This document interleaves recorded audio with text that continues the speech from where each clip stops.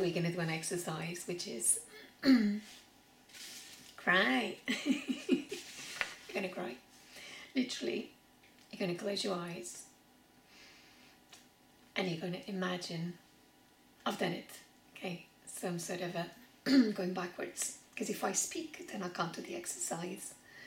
And I want you to do the exercise to see what comes out in a raw, natural form, which might help you cry too.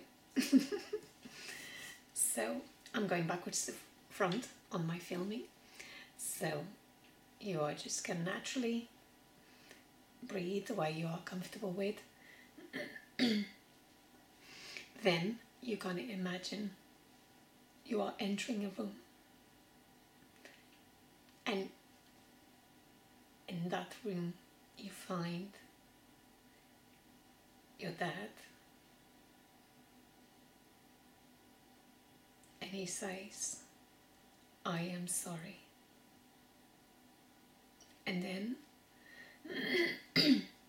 you meet your mum, and she says, I am sorry.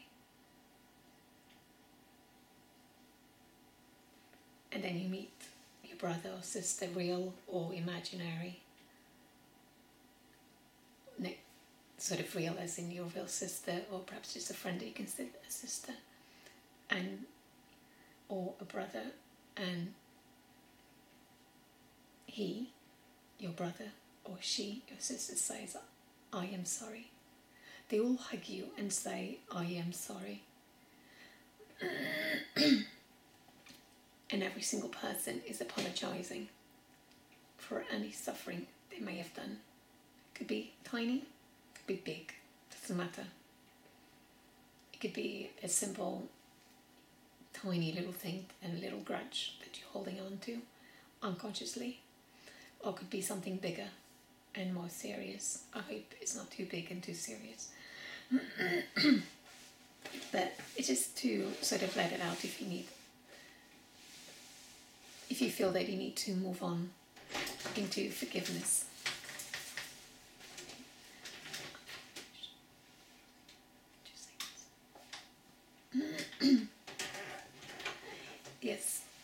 So as you enter this room, you meet every single person, friends and family, starting with your parents, your siblings. They all hug you and say, each one at a time, they say, I am sorry. I am sorry. And they hug you. And that continues. That journey into that room continues. And you bump into every single person that caused you grief. Could be strangers, colleagues,